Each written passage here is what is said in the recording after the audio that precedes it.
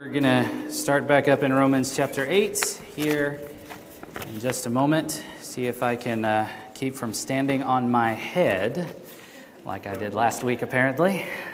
Um, those of you who weren't here, sorry, inside joke. You got to be here every week to get all of the humor that comes out occasionally. So let's pray together and then we'll dive into Romans 8, talk about some things here. So pray with me. Father, thank you for the opportunity to be together, to indeed fellowship around your word. We are glad to share this time together. We're glad to share this piece of life together. We thank you that you are with us in it all. We pray, Father, that as we open your word and as we consider uh, the, the gospel and the significance of the death of our Savior, would you help us to respond with faith and help us to, to see the wonder and the beauty of it all, even as we wrestle with some very difficult questions and issues related to that great event. You have loved us well, and we thank you for your great love for us, for your people. We thank you for the death of our Savior, the death of your Son, the sacrifice there that you would deliver him over for us is an expression of your deep love for us. And we thank you uh, Father, for your care for us in that way, that you have done all that is necessary to rescue sinners from our terrible plight, multifaceted problem of humanity. And so we thank you that we can trust you for these things and to complete the good work that you've begun in each one of us. So help us as we open your word. Help us to hear you speak. Help us to see what's there and Guard our hearts from confusion. Help us instead to rest in you and for things that we don't understand or things that are hard, help us to still cling to you and seek you for clarity and for grace over time. So thanks for the opportunity to talk about these things. Thanks for the opportunity to listen to your word yet again and to be confronted with the wonder of your grace and your love for us. Help us to embrace it. Help us to love you well in return. In Jesus' name we pray. Amen. So open up to Romans 8 if you haven't already. Uh, we'll read verses 31 to 39 yet again, and we'll pick up uh, with the can of worms we opened last week, and uh, we'll see if we can get a handle on those wriggly things. Uh, Romans 8 31 to 39.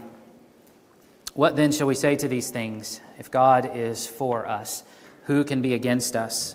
He who did not spare his own son, but gave him up for us all, how will he not also with him graciously give us all things? Who shall bring any charge against God's elect? It is God who justifies. Who is to condemn? Christ Jesus is the one who died. More than that, who was raised, who is at the right hand of God, who indeed is interceding for us. Who shall separate us from the love of Christ? Shall tribulation or distress or persecution or famine or nakedness or danger or sword? As it is written, for your sake we are being killed all the day long. We are regarded as sheep to be slaughtered. No. In all these things we are more than conquerors through him who loved us. For I am sure that neither death nor life, nor angels nor rulers, nor things present nor things to come, nor powers, nor height nor depth, nor anything else in all creation will be able to separate us from the love of God in Christ Jesus our Lord. So, as we enter into this passage yet again, we see the language of election. We see the language of Jesus being handed over for us. We see the uh, language of Jesus' love for us and God's love for us. And it raises the question when we have those pieces in the same paragraph here what is the nature of election? That's one question we need to wrestle with a little bit. And what is the significance of Jesus' death for us? Being specified there. The question is usually phrased, For whom did Christ die?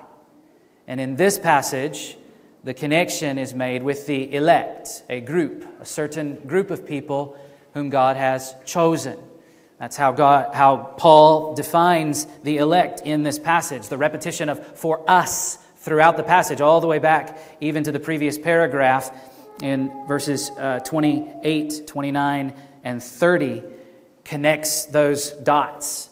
Paul's focus here, at least, is on those whom God has chosen and how Jesus' death, Jesus being handed over, connects with that group of people and God's act of choosing. The most important question that we can come to, though, I want to start with that, is where we really ended last Sunday. Don made a comment as a kind of our closing word for last week about the significance and the wonder, the marvel that God chose me. And that really is a good place to start. Recognizing that whatever you believe about the broad picture of God's election and His electing love, you have to bring it down personally. That God chose me, that God chose you. Don't let anybody generalize election to such a degree that it's just this big corporate reality, that God just chooses either everybody, which doesn't make any sense, because the language of election specifically means to choose a group out of a larger group. And don't let anybody minimize the significance that God chose you personally. Because what we see here is if you're a believer in Jesus, if you're among the us that's being talked about, that everything in this passage applies to, you are among the elect that, God, that Paul is focusing on here. And so start there. But that raises another kind of sticky question that comes up at this point. How do you know that you are among this group? How do you know personally that you can say, God chose me? And to bring in Ephesians 1, if you want to ask about the timing of when did God make this choice, when did He choose you, Ephesians 1 is very plain in that regard. God chose us in Christ before the foundation of the world. So we're talking about an event that took place long, long, long, long, long ago. You weren't around, you didn't exist. And yet God chose you. How do you know if that is the case? And the Bible does answer that question explicitly. And so I want to draw your attention there before we look at the rest of this context in Romans 8 to talk about that reality. But if you'll flip over for just a moment to 1 Thessalonians chapter 1. The question, how do you know God chose you, is addressed and answered by the Apostle Paul. And so we, it's fair to ask the question, and it's a good thing to see that we are not left in the dark uh, to think about this. 1 Thessalonians chapter 1. Paul writing to the Thessalonian church, the Christians there, and he says in verse 8 of 1 Thessalonians 1 For, nope, verse 4, sorry, go back to verse 4. 1 Thessalonians 1 4. For we know Paul says, We know, brothers, loved by God, that He has chosen you. Okay, so just stop there for half a second. Paul says, We, so he's talking about Paul himself and his companions, the apostolic ministry that went on in the Thessalonian church, and he says, We know something about you.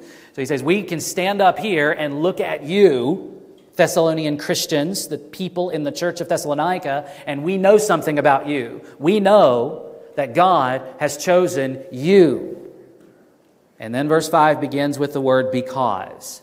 And so this is how does Paul know that? How does Paul look out at these Thessalonian Christians and know that God chose them before the foundation of the world? How does he know that? Verse 5 Because our gospel came to you not only in word, but also in power and in the Holy Spirit and with full conviction. He goes on, You know what kind of men we proved to be among you for your sake. Verse 6 And you became imitators of us and of the Lord, for you received the word in much affliction with the joy of the Holy Spirit, so that you became an example to all the believers in Macedonia and in Achaia. So, what Paul is describing there is the evidence of election. And that evidence can be summarized really simply as the appropriate response to the gospel. The gospel was preached to these pagans in Thessalonica and Jews among them as well, and many of them responded to the gospel. The gospel came to them in power. That is, it hit them as unbelievers, and then it powerfully changed them to believers. That's what the gospel does. It is the power of God for salvation to everyone who believes, as Paul said in Romans 1 16. It's power that comes and changes you. It takes you from what you were to something different. And here he sees the evidence. He looks out at those Thessalonian Christians and he says, You're imitating us. You're imitating our faith. That's how I know God chose you before the foundation of the world. That's evidence. And so that's the only evidence we're given in the scriptures. How do you know you were chosen before the foundation of the world? Are you, have you responded to the gospel with faith and repentance? And do you see evidence of the Spirit's transformative work in your life? That's the only answer to the question that the scriptures ever give. And so it's not for us to be looking out and before someone responds to the gospel, try to figure out, well, is this person chosen? Were they chosen before the foundation of the world? That's not the question on the table. That is irrelevant to us. Instead, we all, as Christians, have the responsibility to proclaim the gospel to everybody on the planet. Those who respond with faith and repentance, we can say with confidence with the Apostle Paul, when we look at their lives and we see the evidence of the Spirit's work, you were chosen before the foundation of the world. That's how we make sense of election. And it, it, it can, again, there's all kinds of other questions we could ask about God's electing work and our response to that. But truly, the response is not to election. You're not, we don't go around telling people, God chose some people to be saved. Now respond to that. We go around telling people, Jesus died to pay for sins. And he calls everyone on the planet to repent and to trust him. That's the announcement of the gospel in a nutshell. That's what we go around telling people. And so we don't have to ask the question ahead of time, especially has God chosen this person? Has God chosen them? But instead, once people respond to the gospel, you can find the comfort and encouragement that the whole doctrine of election is supposed to bring about. That's the reason that Paul ever talks about it, or Jesus, or the other New Testament writers talk about election, is to bring comfort and encouragement for believers. That's the source and the fountainhead of God's love for you. And so when you see that, don't immediately, at least, rise up and say, Well, what about? Well, but what about? What about? How does my free will fit into that? That's not the first question you need to ask. The more important thing is to say, Wow, I know how awful I am, and God chose me.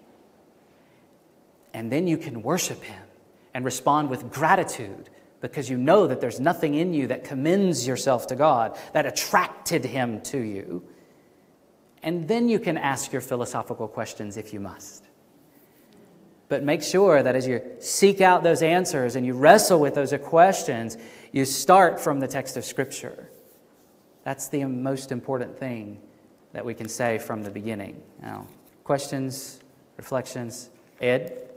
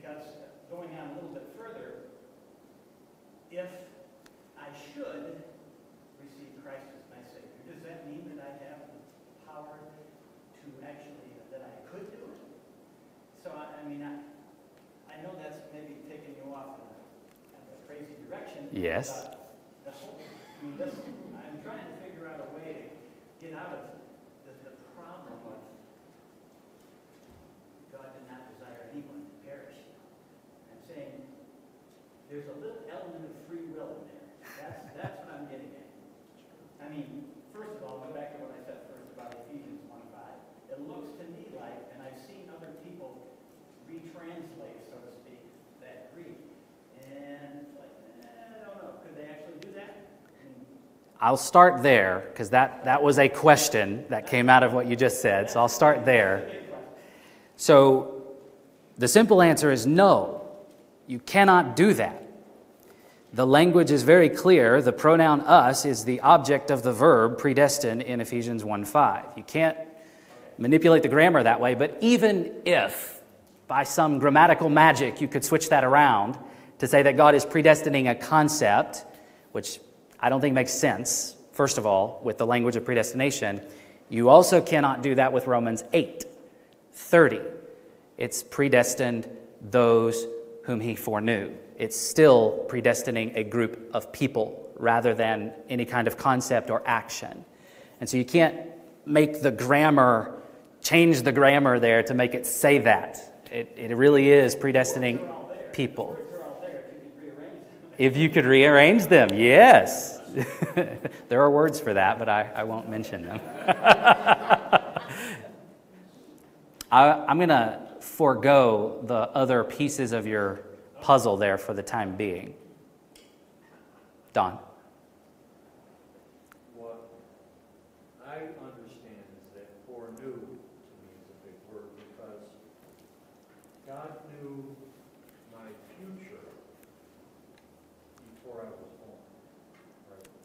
Mm-hmm. ever thought of by anybody but him. Right. He knew, he kind of knew that I would be his child. I don't think he created me. I mean, he knew all the people that weren't going to be his children too. Yeah. So that's where I believe the foreknowledge and the predestination to me, understanding that he knew I would be his child. So when I was born, even though I wasn't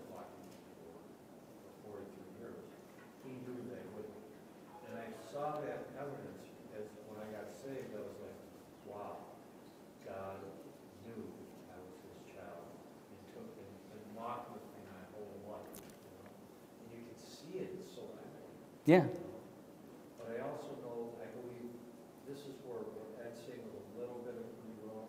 I think God knew that I would, so so to speak, and it's hard to say this out loud, but I would choose him.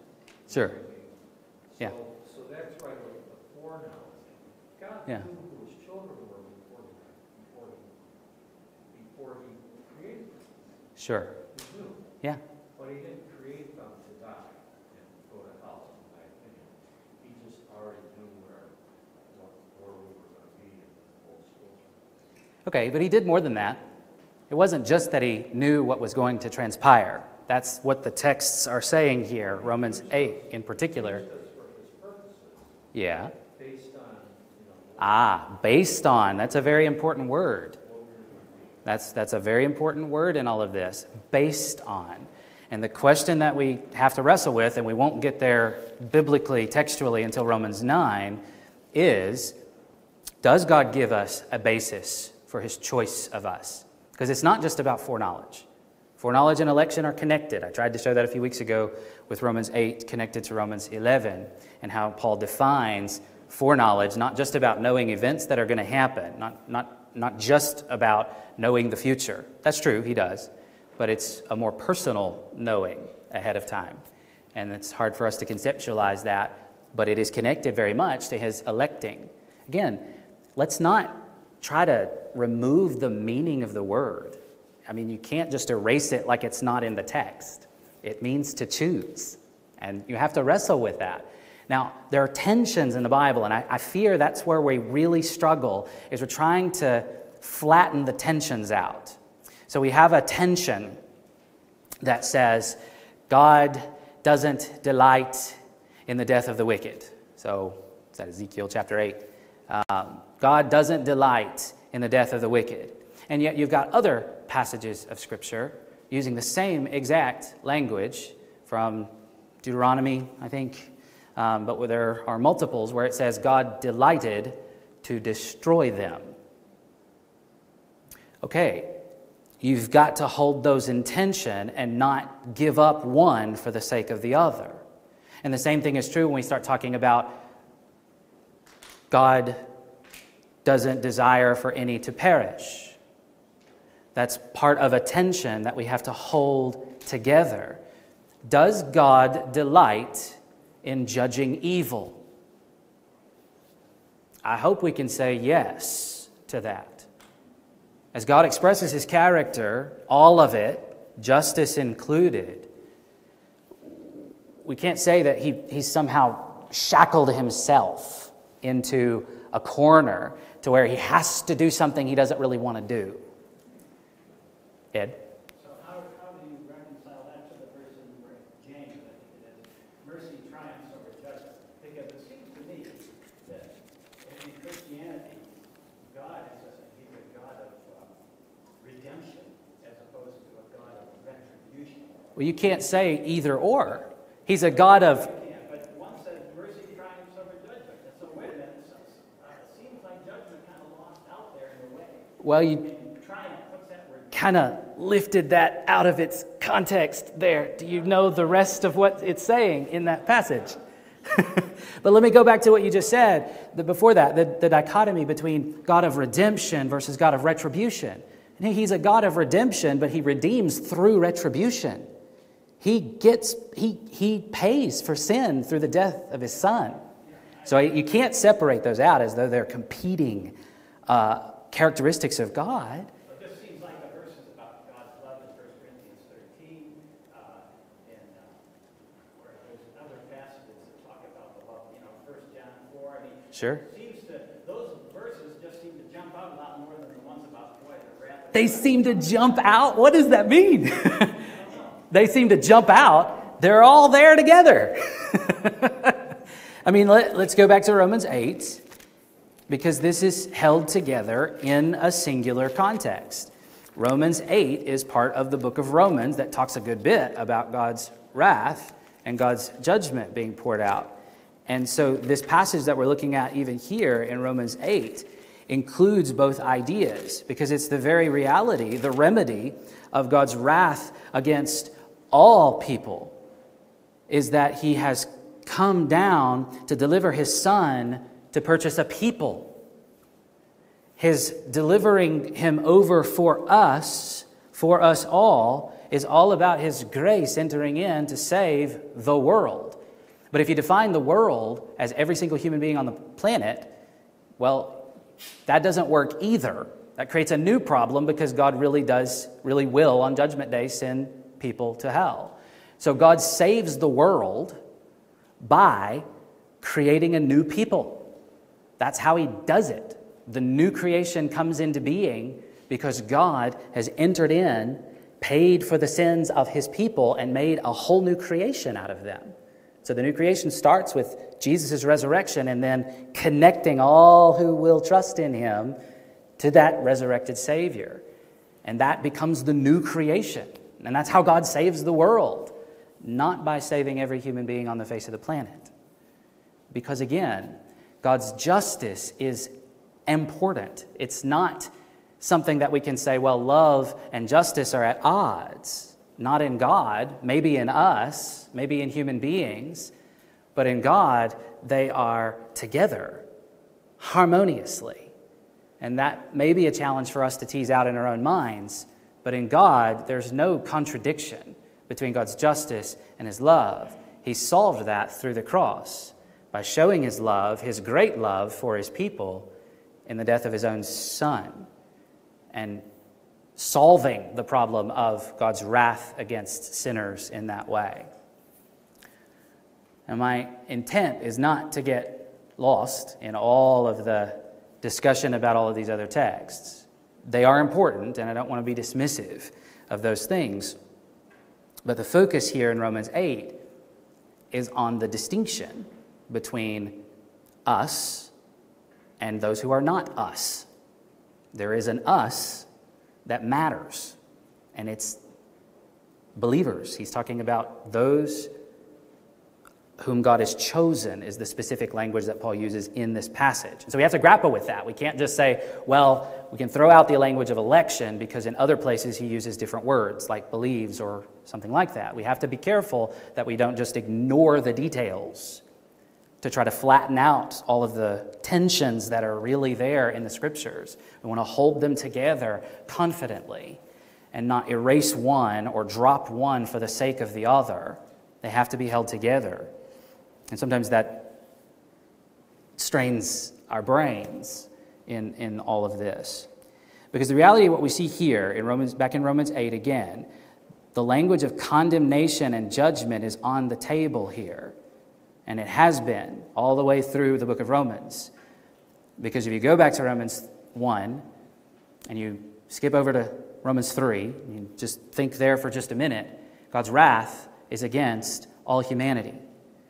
All are under his wrath and judgment by nature. Ephesians 2 3 as well talks about this. And so, what we've been reading since Romans 4, and well, really the middle of Romans 3, verse 21, all the way through where we are now, is talking about how did he fix that problem? How is it that if all humanity is under the judgment of God, under his wrath, how can anyone be saved? And here, he's finally brought us to the place where not, he's been focusing on Jesus' death. Romans 3 21 to 26 is focusing on the event of Jesus' death. That solves the problem of sin. That's what is the remedy, the action that definitively solves the problem. And so the focus has been there. And then you go into Romans 4, and he focuses on how we respond to that great event with faith, and we get this righteous verdict, what we call justification.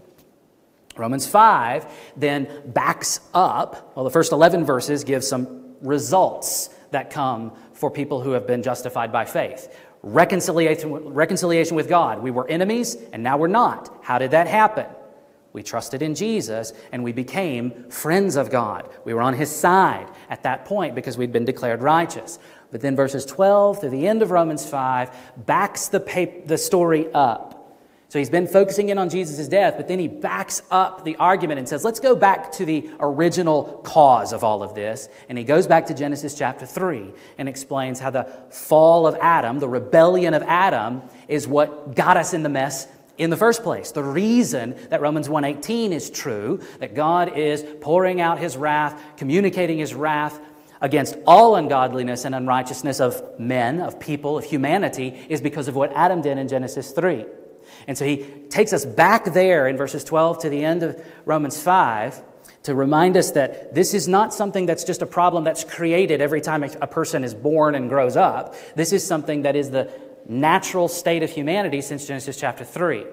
And so he's wanting us to feel the weight of the problem, to see how Jesus' death radically solves that. The contrast between Adam and Christ in verses 12 to 21 of Romans 5 is all about how what Jesus has done on the cross pours out much more grace and gives a much grander benefit than the problem that Adam produced in the world of humanity. And then he comes into Romans 6 and he talks about how those who've responded by faith have been set free from their bondage. And that introduces this new idea that connected to what Adam did in Genesis 3, we all come into this world enslaved. We are slaves. Well, how do we get free? And the focus there is again on Jesus' death, has broken the chains that enslaved us, the, the chains of our sin and our guilt. And he has solved that problem. But again, only for some, only for those who believe. And then in chapter 7, he takes a detour and he says, Why didn't the law fix the problem? Why didn't the Mosaic law fix the problem? God gives us all these commands and tells us this is how to live righteously. Why didn't that solve the problem? Because humanity's still in the flesh. Humanity in Adam can't do the law. And so, does should imply can? No, not biblically. There are explicit statements in Scripture that break that logic. The should implies can logical argument is a logical thing in our mind, but biblically there's too many verses that go directly against it that say you cannot please God. Romans 8 7. All humanity is stuck in a position that they cannot please God. And so, how do you get to the place where you can please God? God's got to do something. He's got to set you free. He's got to give you life. And that happens in the moment of faith. And all of that is built into these arguments that are in the background of where Paul is coming to this grand conclusion at the end of Romans 8. And all that he's looked at, he's wanting to highlight again, Jesus' death and resurrection is the key piece of all of this. And the way that we experience the benefits and live out that faith and that freedom is by the power of the Holy Spirit. And without that power of the Holy Spirit, you cannot, you're still stuck, trapped, enslaved, in bondage to your sin, the natural state given to us through Adam. And so when Romans 8 says that the, the mind that is set on the flesh is hostile to God, for it does not submit to God's law, if he had stopped right there, we could still have a conversation about, given the imperatives of the law, doesn't that imply that we should have the ability to respond with obedience to the law? But then he adds, indeed, it cannot. Those who are in the flesh cannot please God. There's a fundamental inability that's there. And that has to be changed. There has to be an ability given, a new ability. And the whole point of Romans 8, the main point, I suppose, is that it's the Holy Spirit who provides that ability, that canness. Yes, Ed. So you just uh, explained total depravity then, utter depravity. Sure, I guess so. Did Adam and Eve have any ability to respond? Why did God talk to them with the proto-evangelium Genesis 3? Why did he even bother telling them? Are they saved? Are we going to see Adam and Eve in heaven? I do not know. Okay. I think probably, but the text I don't think gives us enough data to know whether they expressed any faith. I think there's a hint that they did, but it's nothing more than that. I God to talk to them about it, but it's like, okay, we're hoping. Well, it lays the groundwork. It wasn't just for them. I mean, that it's for us.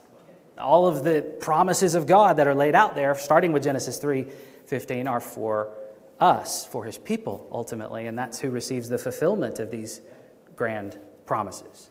So, yes, Yvonne. Um, how then do we pray for our unbelieving children? Can we change the mind of God? Oh gosh, you asked two questions. Um, the second one, can we change the mind of God? I don't think so. I don't think we can change the mind of God, but that, I, so how do we pray for our children? We ask God to open their hearts. We ask God to enable them to believe. We ask God to give them salvation. We ask God for grace for them. We, we pray what we see pictured for us in Ezekiel 36. We ask God to give them a new heart.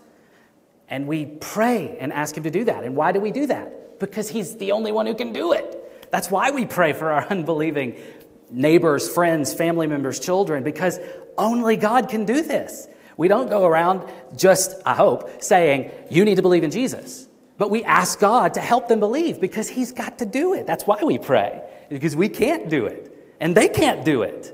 God has to do it. That's what salvation is. It's all of God. And so we pray. I mean, that's the whole point of prayer is to ask Him to be involved, to ask Him to do what He's promised to do.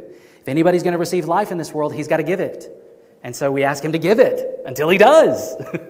and then we ask Him to grow it and cultivate it and watch as He does and participate in the process as He's called us to and given us responsibility to. Hmm. Jill? Kind of going to jump back to the power thing that you were talking about earlier, about the power of the Holy Spirit drawing to us. So we can sit in Sunday school as children and take into our heads what Jesus did for us and believe it and want to have that, but unless the Spirit actually draws you, which is more of a heart thing, then even though you might believe it in your head, unless your heart's drawn by the Holy Spirit, not going to happen. That's right. Uh, I mean, that's the thing. Faith biblically is in the heart, it's not in the head. It is in the heart. You must believe in your heart that God raised him from the dead, Romans 10 9.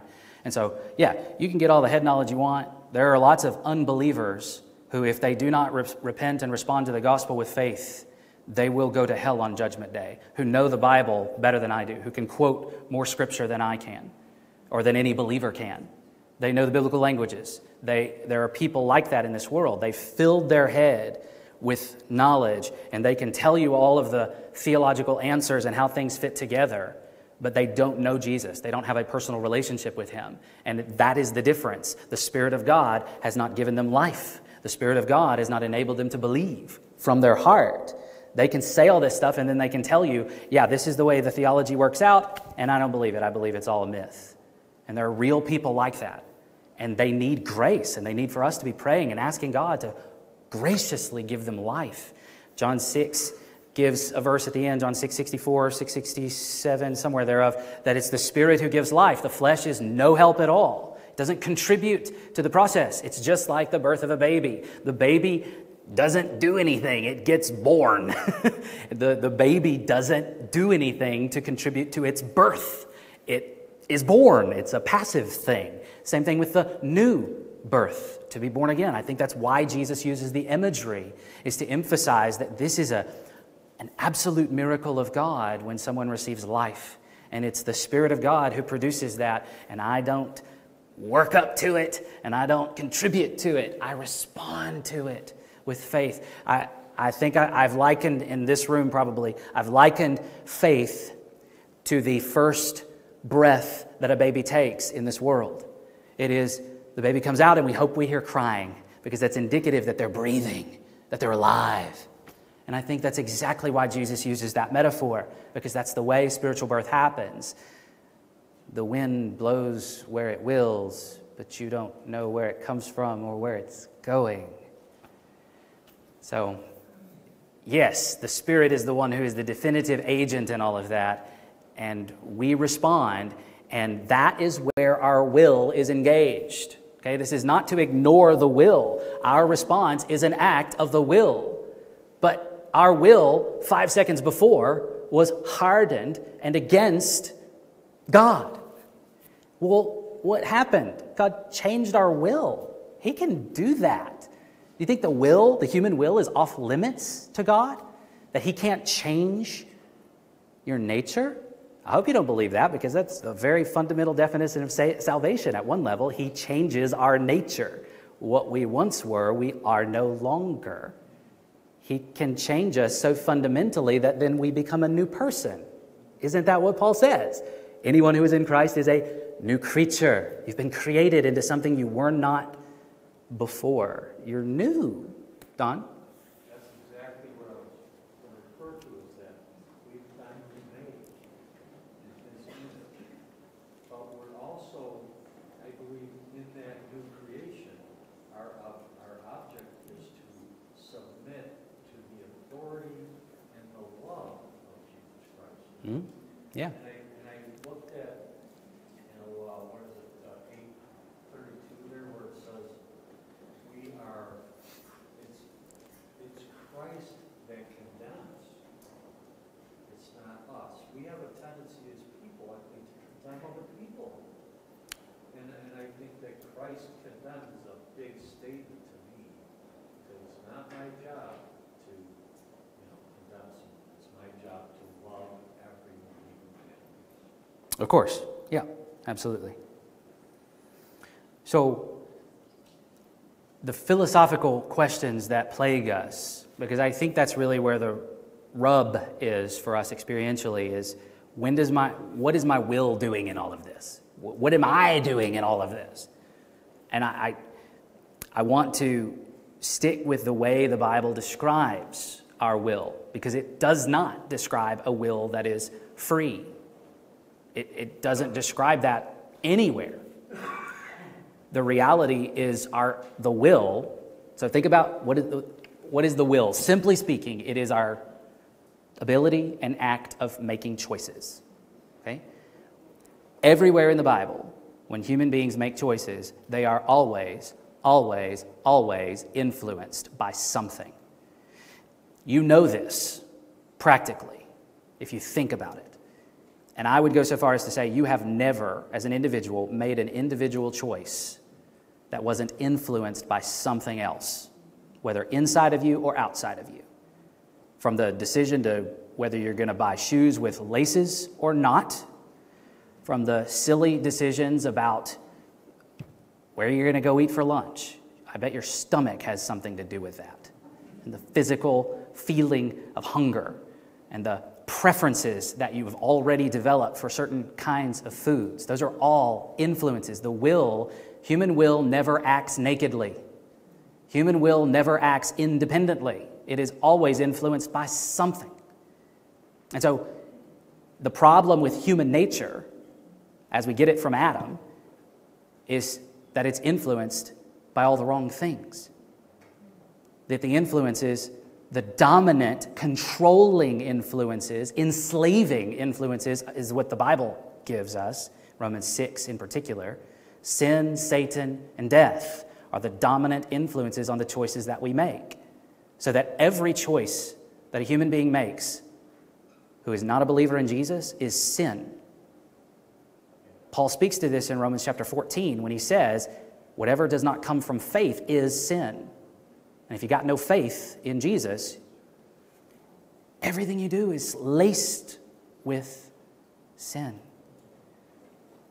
When you become a Christian and you become a new creature, you get a new influence, a new power that influences your will to do pleasing things to God, to express faith and to live out of that faith. That's what we're talking about here. And different images are used in Scripture to define that, but they're all really, really stark images. We're talking about Ezekiel 36. Your heart was a rock, it did not beat and pump blood through your body. And God said, I will be a heart surgeon for you. I will open up your chest cavity and I will take that stupid rock out and I will put something new in. And then it will start beating and pumping blood. What is that an image for? It's an image for beginning to respond appropriately to God, to please Him by faith and obedience. That's what we're talking about here.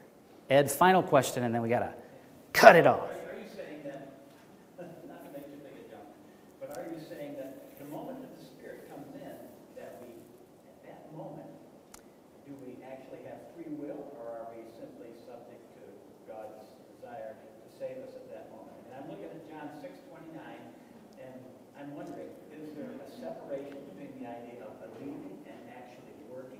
It sounds like works and belief are somehow different.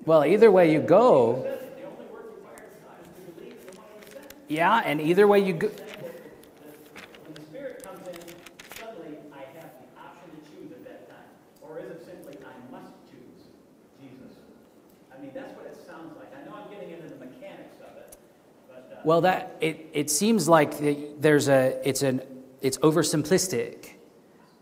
It's not just this either or kind of system. And if you go down just a little bit further in John 6, you will find him say explicitly, You cannot believe. So he just said, as you pointed out, the only work that God expects is this is the work of God, that you believe in him whom he sent, whom he has sent. And then just in the, a paragraph or two later, he says the very things that you cannot believe. So the same people he's talking to, he says this is what God expects, and yet you cannot do that.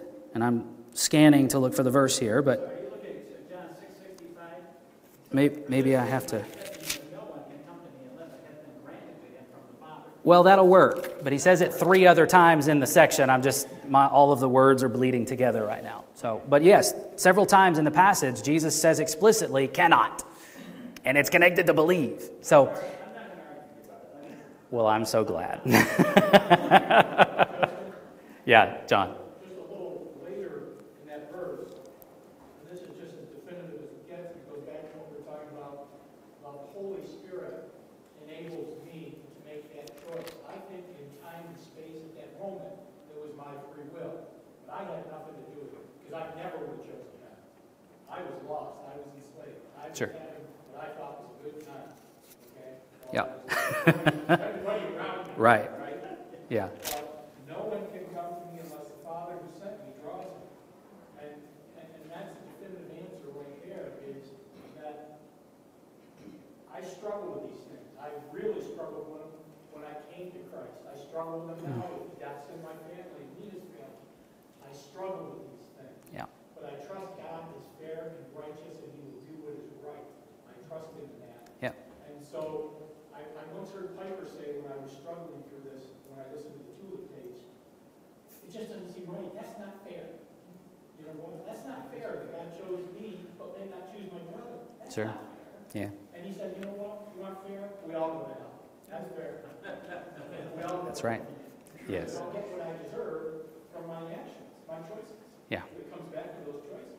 But I'm a slave to those choices before, in a moment in time, the Holy Spirit comes into me and I think I'm making that choice and choosing God. Hmm. But He enabled me and gave me the faith and the power to do that, or I never would have come to it. Never. So we've opened the can of worms and it continues to wriggle. I fully expect that. I'm not in any way pretending. I said this last time. These are things that the church has debated throughout church history and will continue to discuss and disagree about at times until Jesus returns and sets us all straight. Is this a salvation issue? There's, that's a good question. Of course not. Again, throughout church history, believers, Christians, faithful people holding up their Bible and trying to understand what it says are going to come to different conclusions on this question and how to view this. And you're not going to be condemned to hell if you get it wrong. But there is a right answer.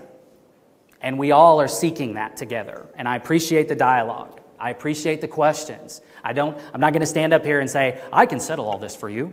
If you'll just listen to what I say, you won't, you won't have a problem. You won't be confused ever again. Come on, man. Don't think I believe that. I don't. Not at all. I, I experience confusion. I, I experience difficulty because this book is hard. It's big, real big, real complicated because God is real big and real complicated. What? It's a lie. It's alive. I thought you said it's a lie. I was like, what? Thanks, Don, for the moment of levity. We need it when we get into tension like this. Happy birthday, Jill. What? Happy birthday, Jill. Oh, happy birthday, Jill. We won't sing to you on the internet, so it's okay. So let me, let me dismiss us. Let me just say one more word. We're over time by about five minutes, and the kids are restless, I'm sure, and the workers are struggling, probably, because mine's in there. Um, again, we should be able to ask these questions, and I don't, I don't want you to think that I'm being dismissive of your questions. They are important. The questions that you're asking and that you're wrestling with are important, and don't stop asking them, even if you don't like my answers. I'm just giving you my answers. I'm trying to point you to what I see in the scriptures. And you can do that with me. I need to see things more clearly, and you can help me with that. Your questions are often clarifying for me. And so please talk, if you're, especially if, if this bothers you. If you, if you stay up at night struggling with these things, let's have a conversation. I may make you stay up later, longer, more days.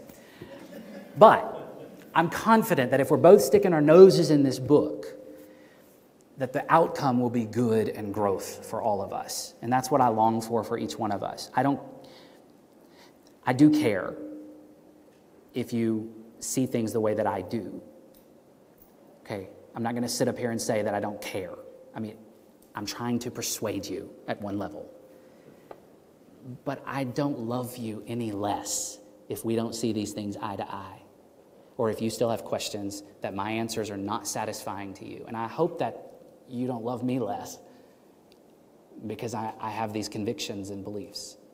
We should be able to love each other well and hold these things differently. And so let's try to do that. Next time, we'll press on in Romans 8.